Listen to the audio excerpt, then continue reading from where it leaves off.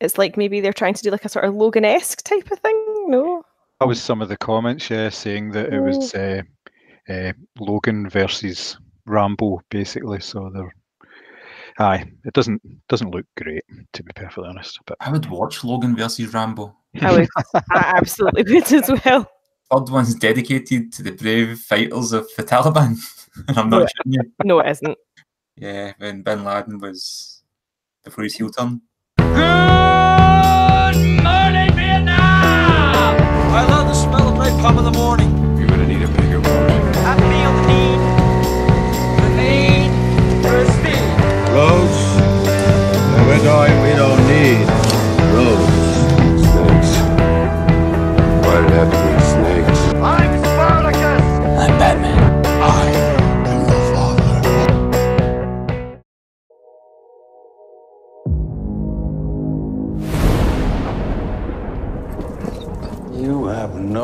Idea what's coming.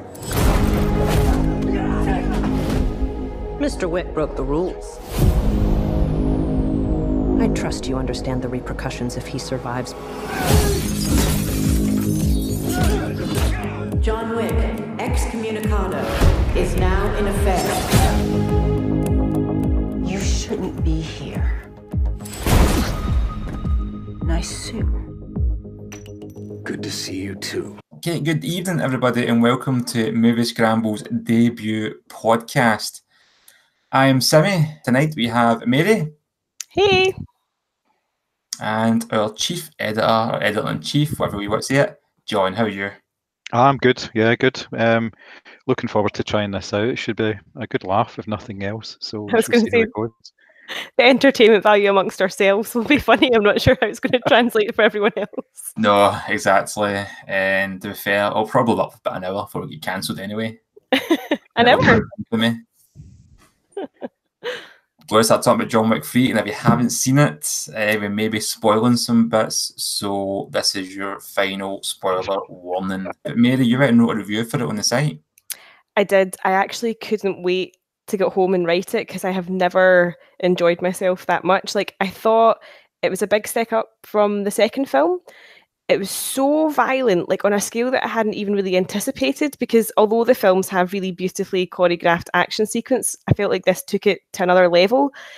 But there was much more to it as well. So there was like really nice touches where, for example, the fight in the library where he obviously jams a book in a guy's jaw, but then he like neatly dusts off the blood and put it back on the shelf in the place that it was supposed to be. There was like a lot of really dark humor like that as well. And I just I thought it was a really strong addition to the franchise. Like I'm always quite wary of films that keep going and going and going, but I actually really enjoyed it and it's making me quite excited for another one to come out.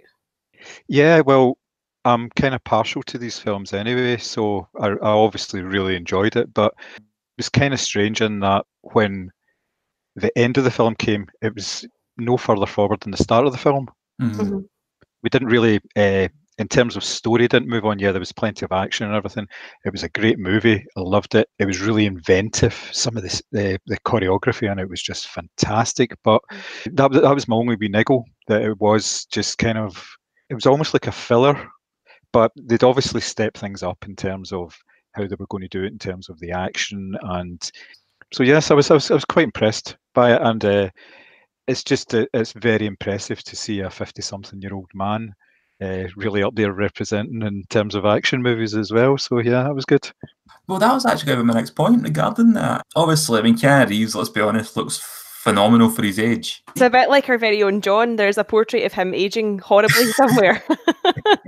Well, it might actually have been the wall behind me. I was gonna say, But no, I mean, it's the fact these three films kind of like uh, they just follow one after the other. So he's not had a rest. But that's what I liked about this film. As much as he's some kind of like invincible killer machine, he looked absolutely knackered. Yeah, and I think that's the the sort of reality that you're looking for. And in the review, I actually said that you know I think he could rival Tom Cruise for the title of like you know best action like actor or whatever because they're both kind of the same age and they're now sort of moving into this stage of their career. But actually, in the Mission Impossible films, Tom Cruise is a machine. He never seems to not keep going. Whereas at least towards the end of John Wick 3, you did kind of feel like Keanu Reeves' stamina was sort of running out, or at least the characters was. That had to do with the story though more than anything else because with the mission impossible films especially the last one there's an action scene and then the move like for instance i, I was actually just starting watching it again there and uh, it was the first scene it's set in belfast and then Mhm. it goes berlin and then paris and whatever so uh, they, they they jump about whereas like Simmy said there uh, john wick 3 starts 10 minutes after john 2 finishes Yeah. so he finishes running and he starts running, so he's going to be knackered Yeah. all the way through it. But yes, you can really tell that uh, it does get a bit of a slog. And if you think about it, the first hour of that film is just wall to wall action. Yeah. He's just fighting his way across New York. So yeah, it doesn't actually take a break for. Well, I mean, the first break it really takes is when he he meets up with Anjelica Huston, and that's more of a almost like a, an exposition dump there, and the, it, it kind of slows down. But before that, it's just man, you know, it's everything: knives, glass, horses. You know, everything. I know, and I did really like that they kind of threw everything at it. The only sequence I would say that was kind of felt weaker for me was actually when they introduced Halle Berry's character. I felt like the film really slowed down then, and not in a way that kind of was pleasing and sort of allowed you to sort of catch your breath. I kind of felt like I was losing interest, even when they had that massive fight in uh, the bazaar. I just it didn't really do anything for me. It didn't really add anything to the film, and I kind of almost wish they had sort of left it out a wee bit, which is terrible. But it was the weakest part of the film for me. Who's the actor that was in that uh, in that scene with Halle Berry, the guy for Game of Thrones? Oh, Jerome Flynn, as in Jerome Rob Flynn, Flynn. Jerome. Sitting watching Soldier Soldier. Somebody says to you, "See that guy? By the way, he's going to be a massive actor one day." Yeah. no bother. Well, what's in Yep. my head is remember they did a cover of Unchained Melody that Simon Cowell had arranged for them. That's what's in my head when I see him. yeah, same, yeah. The Funny fact that it was him and uh, uh, Robson Green who now Yeah. does fly fishing programs. Yeah. You know, it's just it's bizarre. Absolutely. And the mental bizarre. thing is though, when you watch Robson Green doing the fly fishing programs, he was the one that made it at the two of them. I know, I know. What was that supposed to be? No idea. That's It why I was- was asking. Well, I liked it because it was uh, like bad guy comical. You know, Yeah, it was like that generic racist film accent that everyone has when they're, they're not sure where they're supposed to be from, but they're like the exotic bad guy. Uh, he's clearly a bad guy, so we'll give him a- an accent. It could be Russian, could be German. We're not really too sure if it's Middle Eastern, but I kind of felt like maybe he was meant to be sort of Russian or something because they'd made the link, like just obviously in the scenes before with Anjelica Huston. I thought, oh, maybe. But then the more he spoke, I was like, he actually can't control his own accent. They should probably have given him a non speaking part. could have at least overdubbed it, you know. Uh with somebody who's actually Russian or whatever he was supposed to be. That is a actually a big question mark. I have no idea what the answer to that is. That's good. If anybody's uh, listening, just please uh, contact at Moviescramble on Twitter and uh, give us your thoughts on what you think Jerome Flynn's accent was in John Wick 3. Another thing I absolutely kind of love about John Wick, though, is Ian McShane in these films. Oh, he is like weirdly sexy. I'm just floating that out there. He is like weirdly sexy in these films, like even more so than Keanu Reeves. I, I kind of get that. He's somebody who's aged particularly well, definitely. And if you think about it, for a whole generation of people, he is Lovejoy. So it's the same idea as Jerome Flynn. So these guys are having sort of career renaissance as they're getting older. Especially, I mean, look at the, the kind of thing that Ian McShane's been doing since he obviously moved over to America. Yeah. Did things like Deadwood, and he's Mhm. in American Gods, and he seems to pop Yeah. up in all sorts of stuff. I don't know if you ever seen Sexy Beast. It's a gangland boss in that, and he's so creepy. In fact, I would just recommend seeing Sexy Beast because it's just all round. It's a fantastic movie. But yeah, he's particularly good in that. And that was one of the sort of the early roles that he took on after uh, Yeah. doing Lovejoy for about a decade or something. You know. So I mean, I like I like his character in the sense that he's quite ambiguous. Like you never really know kind of where he stands with John Wick. You're never really sure where his loyalties lie, other than to himself, obviously. But I really like his character as well. Read uh, a review, no, not a review, it was an interview with um, Ian McShane, and he was talking about his character and how between him and the, the guy that's the concierge, whose name Mhm. eludes me at the moment, uh, between them, they come up with a whole backstory about how they met in the 60s and like a, like the, it was like the one of the Central African republics, and Ian McShane at the time was working for the SAS or something.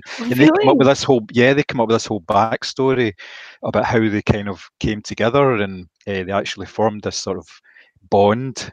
And obviously, that you can see that, especially in the third film, when the way that they interact and the way that they get involved Yeah. more with the action, again, without really giving anything away. Yeah, no, I like the character of the concierge because it could have been one of those characters that was just totally secondary. But I, I agree with you. I think the character really came into his own in the third film in particular, and there was more of a dynamic between the two of them. But I just like the sort of he is that sort of typical kind of you know stiff concierge style character, but at the same time he obviously knows his way around a, a gun or two. Yeah, and a dog, obviously. you know. Yeah, oh the dogs. How can we not mention the dogs? That's true. Halle Berry had some truly scary dogs in this. That's the only thing in this film that made me jump. Like I have no issues with people getting bits sliced off or axes thrown at them, but those two Alsatians I could not bear. They were so violent. I mean, how do you train a dog to do that? That's what my, you know, do you just like crotch at it quite a lot and just let them go. Yeah, go? there was a lot of guys getting their balls bitten. I was like, the stuntmen must have made some serious money for this because there was just like savaged balls everywhere for a few of the scenes. I know, and I, I don't want to speak for entire mankind, but that's you didn't get desensitized by each bite. you know, it wasn't a kind of case you're like, right, I'm kind of just bored of it now. It was like, "Nah, I can still feel that. there was a few leg crosses going on in the cinema actually when that kept happening. It was interesting to see reactions. Well, I kind of thought about the Unsullied at that moment in time from Game of Thrones because, you know, they, they were already there. So it, would- it would have meant nothing to them, uh, a dog attacking them in that particular area. So She doesn't really do anything for me as an actress. I can't think of a film that I've seen her and gone, my God, that was outstanding. I can't really think of anything. You know, a Catwoman fan then. I thought she was pretty good in uh, the second Kingsman film. Oh, I haven't actually seen that. Like, it seemed to just pass me by. I think it got a few bad reviews when it opened. And to be fair, when I saw the trailers at first, I kind of felt like it was a remake. Uh, sorry, a sequel for the sake of making a sequel. Um, but I don't actually know too much about it. It's not a great film, to be fair. It's nowhere near as good as the first one. Which is a shame because the first one was outstanding. Like, it was so different and unexpected, and it just it ticked a lot of boxes that I wasn't even aware that I was looking for in a film. But I really enjoyed it. So that's a shame that the second one was weak. Apparently, they're making a sequel to that as well, but they're also wanting to do like a spin off or sorry, shared universe. They've already started it. They're doing a the the third Kingsman film is uh, being filmed just now. Matthew Vaughn was speaking in a podcast about something else. I Oh, he was speaking about Rocketman. Oh. Basically, he's doing that uh, because obviously it's his company that's producing it, uh, Mhm. but he's also doing the Kingsman prequel. I think it's Ralph Fiennes in it. It's set like sort of uh, late 19th century, early 20th century, and it's sort of the the origins of the whole tailor thing and the whole Mhm. Kingsman, how they all sort of come into being. So Oh, well, that might be quite interesting. The only thing is that Ralph Fiennes um, only ever acts with his teeth. Like nothing else on his face moves. You just see the teeth moving. And the thing is, I've got a lot of love for Ralph Fiennes. Like he's great in Schindler's List. He's great in um, Grand Budapest Hotel. But I've I've never seen MD who only literally moves their teeth. Nothing else moves. And if you actually study him for long enough, particularly in the Bond films, you really notice it, and you can't help becoming aware that oh, there's the bottom set going again. Now it's the top set. It's really weird. He must have loved uh, playing Voldemort then because he's got no lips. Uh-huh. It's just all teeth. yeah, and obviously the English patient as well, where you know he didn't really move anything there, did he? Actually, what I was going to bring up was since we're speaking of action stars who are sort of having a wee bit of a renaissance in later life. So, have you seen the uproar around the Mel Gibson Rothschild film? No. Nope, so, I've. Mel Gibson, who obviously is kind of having a career comeback with like Blood Father and also directing Hacksaw Ridge and stuff like that, is in big trouble again because apparently he's in a satire about the Rothschilds, which are obviously a massive um, banking family who happen to be Jewish, but it's a satire about Jewish banking. Like, Jesus. who thought that was a good idea in Mel's camp? he seems to be cast these days, and uh, it's always controversy no matter what he's doing because he was cast in uh, Dragged Across, Across Concrete. Yep. And he was basically like this older uh, sort of mildly racist cop in that, Mhm, mhm, and the casting you could tell that the casting was done for that very reason. Now he was very good in it. mhm. Um, he's he's still a bit, despite everything that he's obviously said and done, he does produce the goods on screen.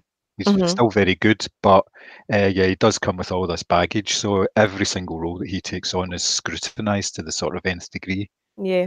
Well, I actually really enjoyed him in Blood Father. I thought that was a nice sort of kind of homage to sort of 80s kind of or like even like B movie style action movies. I thought that was really enjoyable. And again, he is somebody who obviously had all this stuff not happened previously, probably would be having the same type of career as maybe Liam Neeson's having just now. Um, it's just obviously there's, as you say, a whole bunch of baggage attached to whatever he does. The same amount of baggage attached to Liam Neeson now, obviously, after his most recent comments. That's a fair point. I actually think it's been a kind of case of like, uh, we've got this uh, script called Taken. Who do you want to be in it? Mel Gibson, what's he up to these days? Well, Yeah, well, I mean, obviously, Mel's tried a few different things. Obviously, he was in was it was it Daddy's Home too? Yep. Yeah, he was in that as well, and that's the sort of that was a comedic role, sort of riffing on almost these Lethal Weapon persona, like the later sort of Lethal Mhm. Weapon films and stuff as well. But yeah, I mean, if you think about some of these guys, the the way that they their career uh, progressed and they got so high, and then they obviously just uh, pretty much to a man decided that right, oh, I need to diversify. I need to do comedy. I need to do more sort of serious Yeah. Action or more serious drama or whatever, and uh, I it think never with- works out. Well, I think with Tom, like I think Tom, it's worked out for Tom Cruise, but I think that was like a really, you know, that was a well thought out career decision because you know he was the sort of pretty boy, you know, the pin-up boy in the eighties and stuff like that, and he obviously sort of you know sensibly realized that that was never going to last forever, so he had to move into something where he could still you know be a regular box office feature, and I think he's maybe with Keanu Reeves, they've probably been the ones that have transitioned most successfully although I mean Liam Neeson, I suppose, up until obviously recently and recent comments and stuff like that. But I think they're probably the best examples of action stars, or maybe Stallone, because obviously you know Rocky Balboa and the Creed films are still doing well. mm-hmm. Yeah, yeah. It's a good point. I mean, I can't forget how it's been about 20, 23 years uh, the Mission Impossible films have spanned. Really? yeah, yeah. It was ninety six was the first one. I mean, there's only there's six of six of them. Yeah. Yes, that's right. Yeah. weird because there's been about 17 Saw films in that time. Mhm. You know, I mean, did you see the last Saw film? ah, it was awful. Oh yeah, it was terrible. Yeah, it was just really, really bad. And And uh, I've got a very low tolerance, you know, sorry, a very high tolerance, let's just say, for for watching real rubbish. But that was just, you know, I, I was actually rooting for some of the mechanical devices at you know, certain points.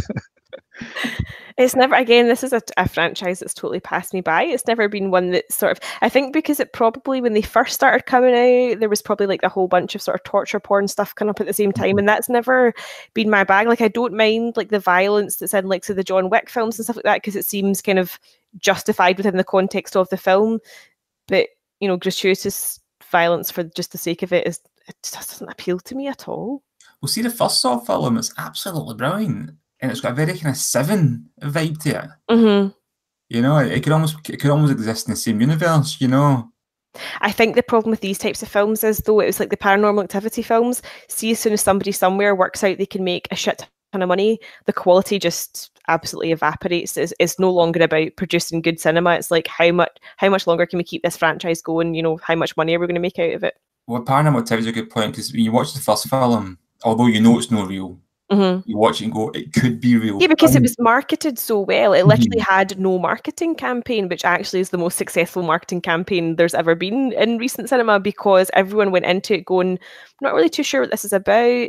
And although found footage has obviously been done before, I think it was a quite refreshing update of it. Um, it was scary. It was, you know, and obviously it had real like jump scares and stuff like that. But the second one, the quality dipped really quickly as well. And it just, yeah, I think they're on what Paranormal Activity 4 now? I've no Is that idea. I think it's called the Ghost Dimension. No, it's more than that. It's like six or something. And Oh, really? same For the, for the first one, you're watching it. Do you watch them, John? I well, this is my confession time. I've never seen any of them. This could be like a found footage film. It- It's Mhm. done really well. By the last one, they actually travel in another dimension and travel back in time. And I'm like, okay, kind of stretching believability here, but I'll go with it. And it's awful. That sounds absolutely terrible. terrible. Got a spin off as well. And John Wick's getting a TV series spin off, is that right? Yeah, the Continental. It's been been getting talked about for maybe about two years. It's in fact since the the second film. Uh, they've been talking about it, and obviously it's going to be sort of tales based around that. But obviously they're they've now in the third film expanded it, so you've got not just a continental in Rome, you've got hmm the possibility of them all over the world, basically.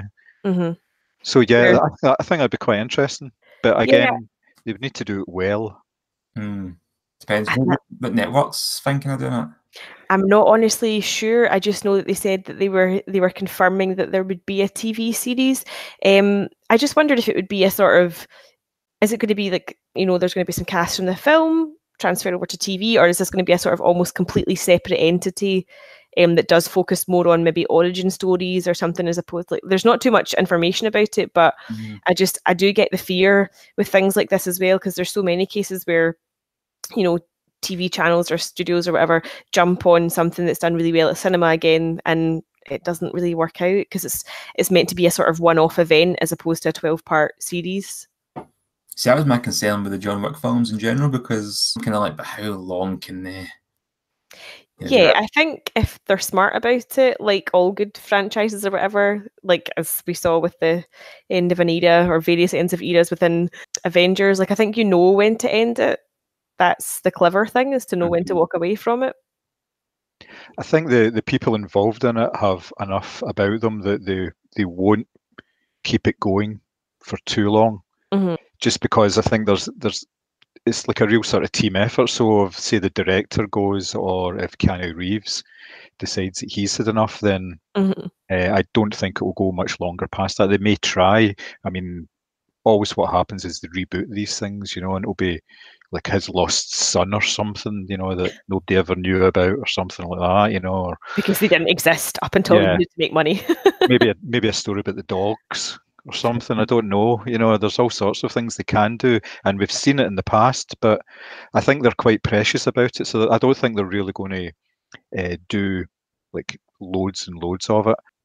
Apparently, the third film uh, grossed something like 87% more than the second film, and that's why the fourth film was announced two So days soon, after the, the third film actually came out. So, I mean, look at the body count in this film, but there wasn't really any sort of body count in terms of certain people uh-huh in the film. You know, I'm trying not to yeah uh, go into any great detail here, but yeah, it, it was fairly obvious, especially when you get to the. I mean, this was over two hours. This film wasn't it? yeah it Mhm. was yeah Yeah. So when you get to the, this, a certain point in the film, you kind of go, I think they're going for more here. Yeah. I really do. and They're they've already not killed like end. 80 people by Yeah. that point. I like the introduction of Asia Kate Dillon's character, the adjudicator, because I'm a big fan of the character of Taylor in Billions. So it was interesting to see them brought into this universe. But I think they're a really good actor, um, and I thought that was an interesting addition to the franchise as well. It's kind of about just expanding that world, isn't it? The, Mhm. We kind of got a glimpse in the first film, and with each one, we're kind of getting more and more. I mean, if, if talking about things I didn't think worked, when he goes to meet the kind of head honcho of the table, Mhm. You don't like it. I just don't think it worked. There was no need for it. Uh, it obviously, it was all set up with them. You know, you know, I need to go to Casablanca, and you're kind of Mhm. like, okay, right? Have you not got enough resources in New York? You know, you could probably call upon. But yes, they had to go to Casablanca, and then that just led to the the big the money shot in the desert. You know, walking over the dunes and all this sort of stuff. hmm It was it was unnecessary. Yeah, I think again, but it was part of that seq- that whole sequence in Casablanca that I just think didn't really add anything other than I was just thinking, how is his suit still so perfect after all of this? Like he's trawling through the desert, he's really sweaty and covered in blood, and yet he just looked pristine by the end of it. I was pretty impressed. It's just that It's- Keanu glow. Yeah, Yeah, I think I and- think it's his inner goodness just keeping that suit alive. It's the tactical lining as well, obviously, in the suit. That obviously helps.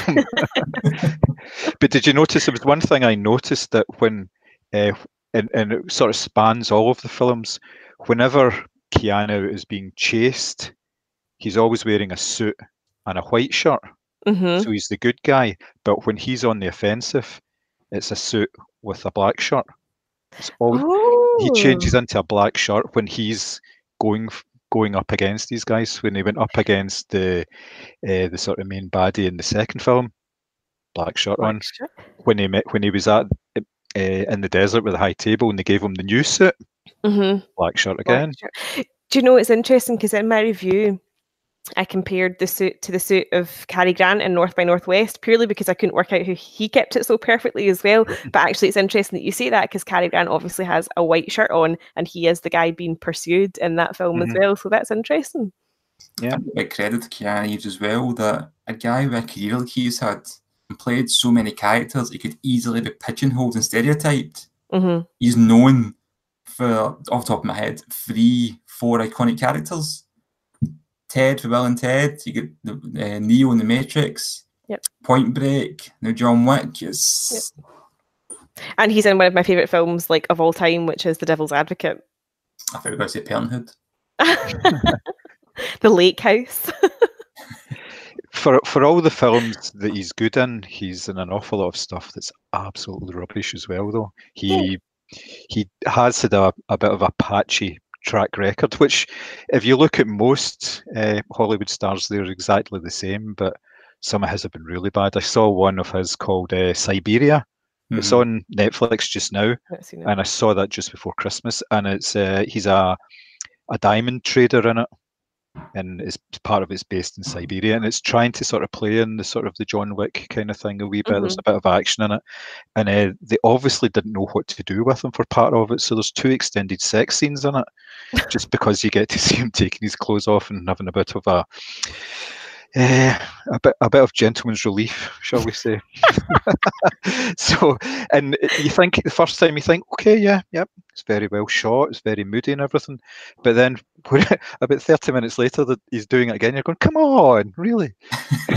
I mean, I see Keanu Reeves' sex scenes and I raise you. I have watched um, Assassin and is it Bloodshot with Danny Dyer, in which he gratuitously gets his kit off, but weirdly enough, not his boxers, which look like really unwashed and gross. And he just grunts his way under the covers for a couple of sex scenes. It's awful. Well, he's another one that's uh, got a problematic personal life as well, or he, he did have for a long time with uh, some of the, the comments he was coming out with about sort of, you know, if your girlfriend leaves you, just slash her and stuff like that. He, was, he said about that in a, it was a newspaper column or something, was it? Or was it a, a lads I mag think column? it was a lads mag, and he was some kind of Yeah. agony uncle type thing. Yeah. And he, he went a bit nuts.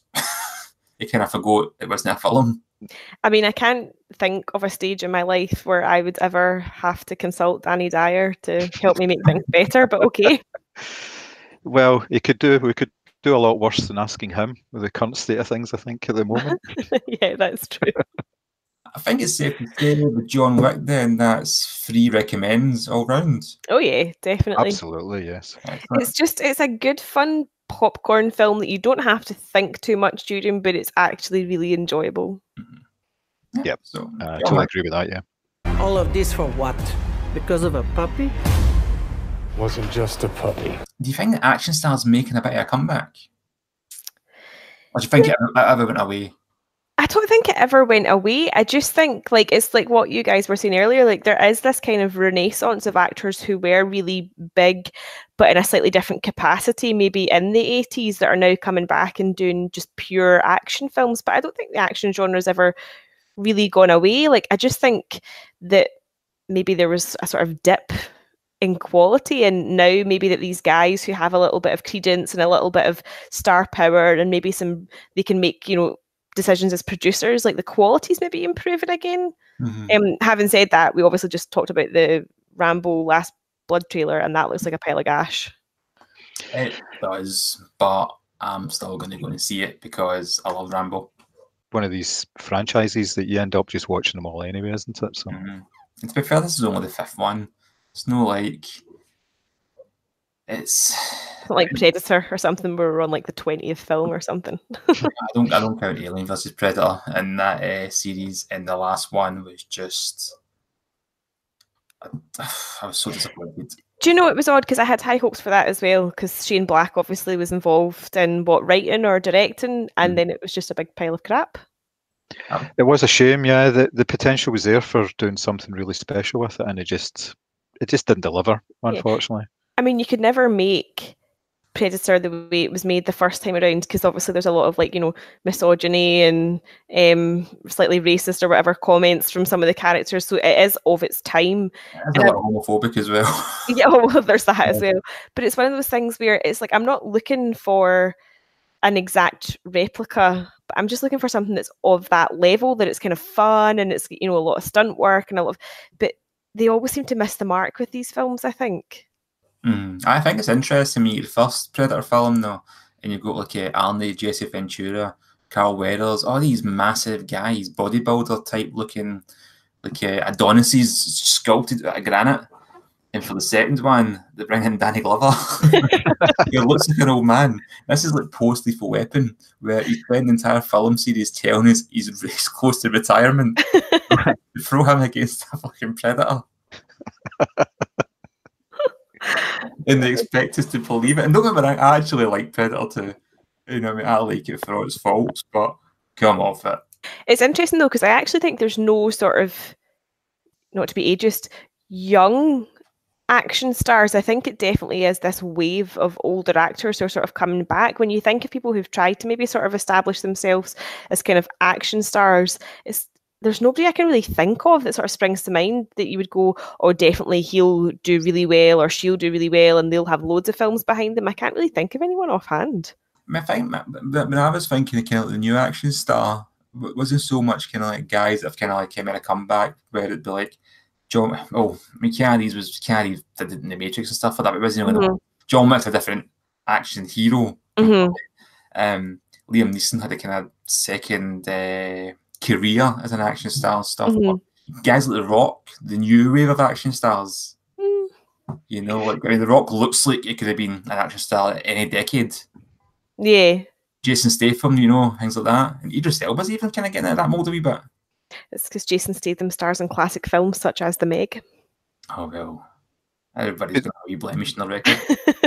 But these guys came from sort of other mediums, if you like. With The Rock, obviously came from wrestling. He made his Mhm. name there, and he used that. And uh, I've I've got nothing but admiration for the guy because if you look at some of the early films that he was in, he he was in films that he wasn't necessarily the star, and he was able to sort of develop his acting as well. Now he's acting for what it is. I think he's he's a movie star, and he's a very good movie star. But um, he is one of these guys that had a career path and followed it. And Jason Statham was the same.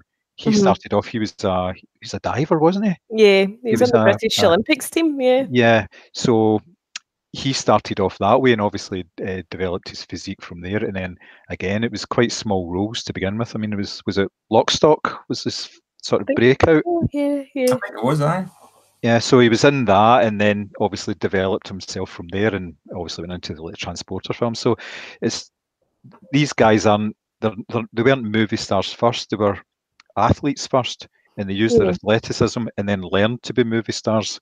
Whereas the likes of the older ones, the likes of Stallone, or not so much Schwarzenegger, obviously because he came Mhm. from the same sort of world, but they were actors who became action stars rather than the other way Yeah. about.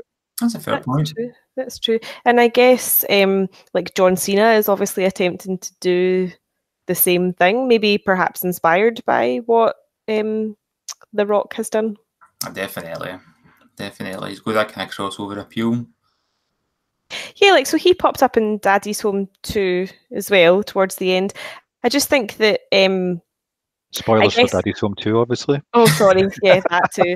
I guess, I guess you just need to be sort of careful because, like, like Keanu Reeves obviously is an actor, and what he brings to John Wick is somebody with an actor's background, whereas somebody whose craft has been their physique maybe doesn't bring the same things to a role. And I, I don't ever want films to lose the fact that you are supposed to be entertained by the acting as Mhm. well as impressed by somebody's physical prowess. That's a fair point. I mean, when you think a guy like The Rock, though, just it just oozes charisma. Yeah, he's like a he's like a really charming guy. And when you think of the stuff like as John was saying, you know, he started off doing stuff like the Tooth Fairy and all this, and it was just crap, but it was crap that he needed to do in order to work on his you know abilities. Speaking of his earlier films, actually, you know, I was flicking through Now TV the other night, and The Scorpion King 5 was on it. What? And like- You didn't tell us. and I'm sitting going, "There's a market for the Scorpion King films." I totally passed. That's passed me by. Yeah, I had. I mean, I knew there was the one film, but I didn't know that it had spawned a whole universe or whatever of Scorpion King films. My God. You know, the Scorpion King's a prequel to the Mummy. Yeah. I think the Scorpion King 2 is a prequel to the Scorpion King. I'm not too sure if this trend continues in the Scorpion King 5 is it's in nursery. So far back, yeah, he's like Yeah. just out the womb. Do you know who could have been like? This is an interesting point. So, see somebody like Gerry Butler, who was launched purely as an action star in 300. What's happened to his career? He was in that film recently, The Lighthouse, which apparently is really good, but I've not seen it yet. He But- is really good in that. Yeah, I saw that a couple of months ago. It's uh, changed its name to The Vanishing, Mhm. just to confuse it with the other film. It was called The Vanishing. The Yeah, I is was just a Dutch like, film. Yeah, uh huh, yeah. Yeah. Not to confuse it with that other film called The Lighthouse, which I keep seeing things and thinking it's that. yeah he is he's really good in uh, that lighthouse film he's very very good and it's a very understated performance as well he he doesn't go away gerard butler just goes on and on and on in terms see like the, the action films are all fairly similar what was that one he was in uh, last year he was like a Hailstorm. No the the one before that he was a dirty cop and was Oh. all- Den of Thieves. Yeah. Yes, yes, that one. Now that was a tremendously awful film, but it But was enjoyable. entertaining. Yeah. Yeah, exactly. Yeah, and he, he doesn't. I don't think he really cares. And he's got the new one. Is it um, Angel Has Fallen? Yeah. The third of the Has his no Fallen way. trilogy. I Yeah, so know that there was- was that a was Has just- Fallen trilogy. This is awesome. I love Yep. I love those films. Sorry, I'm still not over John saying gentleman's relief earlier. That is going to haunt me for the rest of my life. Yeah. Don't uh, Google it. it can either make or break your evening. Yeah. Actually, sounds like some kind of cologne, doesn't it? yeah, he's never gentleman's relief for men. No, it's bad to say Alan Cummings' self-titled cologne that he released. They're joking. Nope, it's called Cumming. Oh well. Can you imagine being in work, like in an office, and somebody's like, "Oh, that smells really nice. What are you wearing? Oh, Cumming." Yeah, spray some on me. Does it smell of the sea? Jesus Christ. Well, thanks for listening to our first ever Moviescramble podcast. It's been a long time badgering John to do. Uh, he Pretty much, eventually yeah. relented after getting them steaming last Friday. So I think he woke up on Saturday like, what did I agree to again? Oh no. But thanks very much. If you like the podcast, uh, subscribe, give us a like, let us know in the comments what you'd like to see in future. You can uh, follow us on all the usual social media channels Instagram, Facebook, and Twitter, and it's so at Moviescramble. And obviously, check out the website itself. That's moviescramble.co.uk. Thank you. And bye for now. Do you expect him to make it out? A $14 million bounty on his head. And everyone in the city wants a piece of it. I say the odds are about even. Doc, five seconds. John Wick, excommunicado in effect in three, two, one.